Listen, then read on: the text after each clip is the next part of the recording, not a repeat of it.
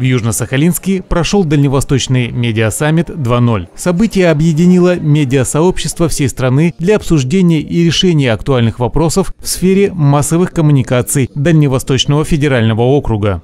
Сегодня я увидела очень много известных людей, корреспондентов, видеокорреспондентов, блогеров, э, тех людей, которых мы практически каждый день видим по телевизору, статьи, которых мы читаем в газетах и в новостях. Э, была очень рада этой встрече.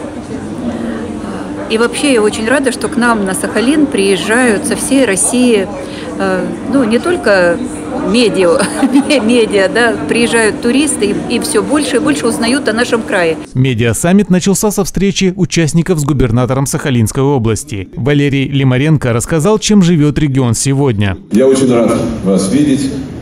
И мы вашу программу пребывания построили таким образом, чтобы вы не просто поговорили о своих делах, но еще и э, ну, познакомились как-то с Сахалином. И показали несколько проектов. И я, собственно говоря, Э, предложил вот эту нашу встречу приблизительно на час с тем, чтобы ну, расставить акценты по э, тому, что вы увидели.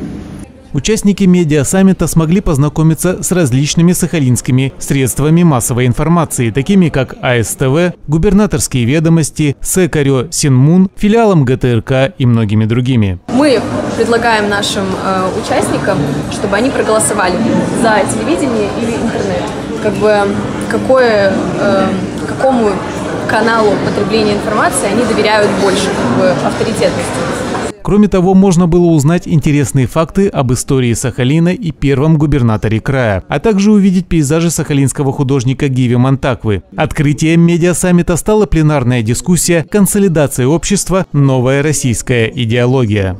Первая рамка – это такой э, неосоветизм а, при этом, ну, он где-то скорее неосоветизм а, даже не рациональный, а эстетический. На протяжении двух дней участники знакомились с медиа Сахалинской области и обменивались профессиональным опытом, а ведущие журналисты страны провели различные мастер-классы. То, что я увидел, то, что узнал сегодня из рассказа э, губернатора, произвело неизгладимое впечатление. Я понимаю, что э, несколько лет это будет новый Сингапур и даже больше. Э, потрясающее место, э, потрясающие люди, замечательный руководитель, который точно сделает из э, Сахалина самый передовой, один из самых передовых регионов нашей страны. Долгое время медиасаммит проходил во Владивостоке. В этом году слет медийщиков состоялся уже в одиннадцатый раз и был организован при поддержке Сахалинской области, Союза журналистов России и Агентства по делам молодежи. Олег Завьялов, Степан Скляров. Специально для восьмого канала.